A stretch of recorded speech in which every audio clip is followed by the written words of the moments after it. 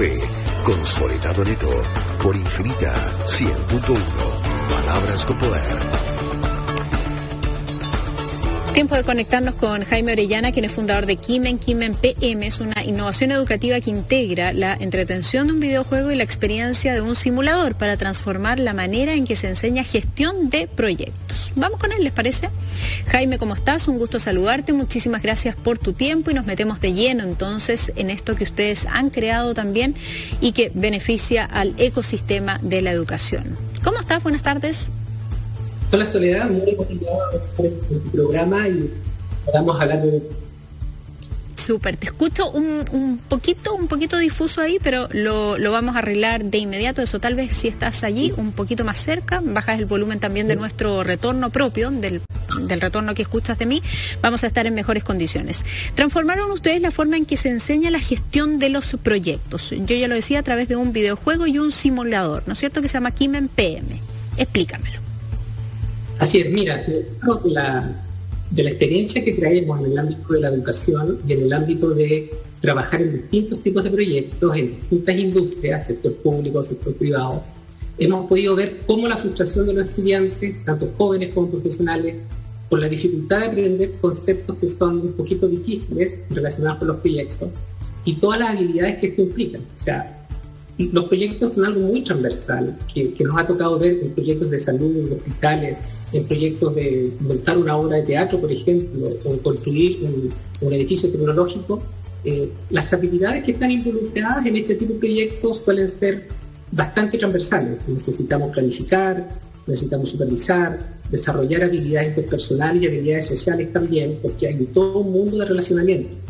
Y desde la complejidad de enseñar estas temáticas es que nosotros eh, nos propusimos como meta transformar la forma en que se enseña, se enseñan los proyectos y transformar la forma en que las personas pueden desarrollar las habilidades necesarias.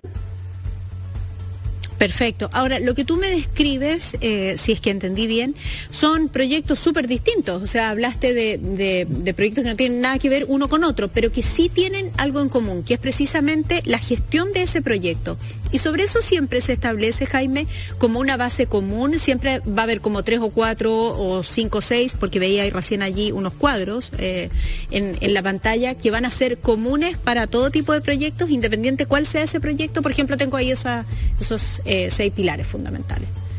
Sí, absolutamente. De hecho, en Soledad existen estándares internacionales de buenas prácticas de proyectos, ah, donde quizás las primeras disciplinas que se han puesto las pilas, digamos, han sido en los últimos 10, 15 años las ingenierías principalmente. Pero nuestra experiencia de trabajar en el sector social, por ejemplo, en el ámbito salud, de, construcción de hospitales, o trabajar con artistas, o trabajar con, con actores del ámbito social, psicólogos, con asistentes sociales, nosotros nos propusimos no desarrollar un, aprendizaje gamificado, que serían, por ejemplo, cursos o clases con elementos lúdicos, sino que decidimos ser un poquito más directivos y desarrollar un videojuego que permita lograr objetivos de aprendizaje. Y, esto convocó a profesionales del ámbito de la salud, eh, perdón, de la educación, del ámbito de la ingeniería, que es el caso, de los proyectos, y sobre todo del ámbito del diseño y del desarrollo de videojuegos. Entonces hemos trabajado como un equipo multidisciplinario con distintos enfoques, pensando precisamente en el, perfil de los jóvenes de hoy, de, los estudiantes de hoy. A todos nos encanta jugar, no solo los jóvenes, no sé si tú también has, jugado videojuegos. y por lo tanto, lo que nos hemos cuestionado es si, una persona puede estar tan motivada, tan involucrada, jugando a un juego que no te enseña nada, ¿bien? que no te deja algún aprendizaje, ¿Y qué tal sería si ese mismo nivel de motivación o de, compromiso lo logramos con un videojuego, pero que tiene eh, objetivos educativos? Y es ahí donde nace Kino precisamente. Perfecto. Ahora lo que entiendo es que ustedes lo tienen pensado para ser utilizado tanto en clases como en el trabajo individual, por ejemplo, de cada estudiante, de cada persona. Sí, mira. ¿Funcionan dos atmósferas distintas? Sí. sí, de hecho, mira, nosotros comenzamos este proyecto en 2018 el desarrollo de videojuegos son proyectos lentos y teníamos planificado lanzarlo este año. Eh, apareció la, crisis COVID, la pandemia y, por supuesto que todavía hace mucho más sentido eh, este tipo de plataformas.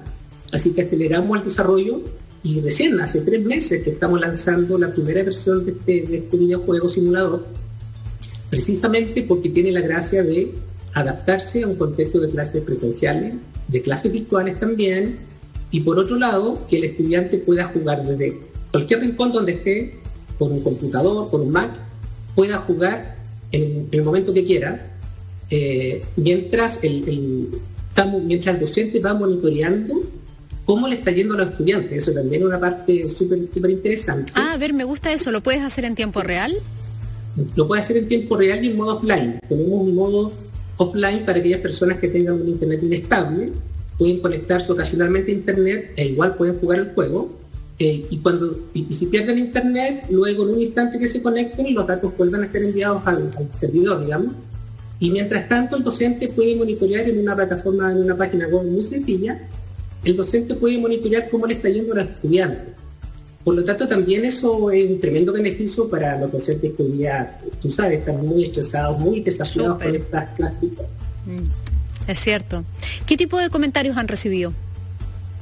Oye, mira, eh, hemos tenido algunos estudiantes, hemos hecho muchas validaciones, ya tenemos los primeros clientes, tenemos de 300 usuarios, y hay algo muy en común que surge de esto, y es que los jóvenes valoran muchísimo enfrentarse a situaciones reales. ¿El qué? Porque, por ejemplo, que estás gestionando un proyecto y hay un sindicato. Ah, enfrentarse a situaciones reales. Ok, es que no te alcancé a captar. Lo que ellos valoran es el enfrentarse a situaciones reales. Sí, porque tienen que aplicar los conceptos, pero la decisión ya no es tan de libro. Porque cada vez que tú tomas una decisión tiene impacto en plazo del proyecto, en los costos, en los recursos, y también tiene impacto en las relaciones con las personas clave. Entonces, de pronto, eh, una buena decisión de costo es una mala decisión para la comunidad. Y, eso en teoría suena súper bien, pero cuando tienes una situación real, es una decisión súper compleja. Entonces los estudiantes valoran muchísimo enfrentarse a situaciones de este tipo que en el modelo tradicional de clases, lamentablemente, están más centrados en lo teórico. Claro. Claro, que hace que, esto sea distinto y diferente tal como tú lo has planteado. Me queda solo una última duda, Jaime Orellana. Em, tú me decías que recién estaban experimentando, probando ¿no? con los primeros clientes, han tenido súper buenos resultados. ¿Cómo se pueden conectar con ustedes y a quién se lo recomendarías? Mira, hoy día eh, tenemos ya las, primeras ventas, como este producto lo lanzamos hace tres meses, tenemos ya las primeras ventas en Chile, en Colombia y casos de éxito en España y nos pueden contactar a través del sitio web Kimen Games, así como kimengames.com. Ya. Y allí entonces, es que yo ingresé eso, pero no lo encontré. Kimen Game. Games. Games. Games. Ah, ok. Aquí sí. Aquí ya estoy. Ya, aquí estoy en la página. Ahí estamos. Ok, entonces es Kimen Games con plural.com y ahí está, efectivamente, sobre ustedes, los beneficios para los estudiantes, la innovación educativa, el primer videojuego simulador eh, para... Claro, del mundo para eh, el desarrollo de los proyectos. Me parece súper interesante lo que nos has comentado. Felicitarte por lo que han estado haciendo además con el equipo y agradecerte, Jaime Orellana, que hayas estado aquí con nosotros compartiendo en World Café Santander. Gracias, Salud. Que estés muy bien. Pronto.